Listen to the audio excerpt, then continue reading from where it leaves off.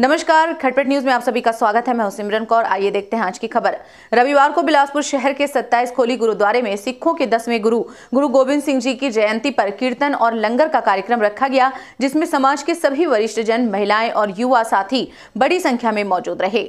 इस पवित्र अवसर पर बिलासपुर के विधायक शैलेश पांडे, साथियों संघ वहाँ पहुँचे और मत्था टेका। विधायक शैलेश पांडे के साथ सुरेश दुबे, साथी बलविंदर सिंह, संतोष अग्रवाल, रणजीत सिंह तथा रिंकू छावड़ा एवं रंजीत सिंह मौजूद रहे। इस मौके पर पंजाब से आए रागी जत्था भाई अरविंदर सिंह नूर, लुधियाना वाले हुजूरी रागी दरबार साहिब अमृतसर की मौजूदगी सम्माननीय रही। इस मौके पर मुख्य ग्रंथी श्रवण सिंह, प्रधान साहिब महावीर सिंह संधु, मनिंदर सिंह टिब, तेजिंदर सिंह बाली, प्रशांत नारंग एवं शमशेर सिंह सहित समाज के लोग तथा श्रद्धालु बड़ी संख्या में मौजूद रहे। Bureau report, Khatpat news. आप देख रहे हैं खटपट न्यूज़।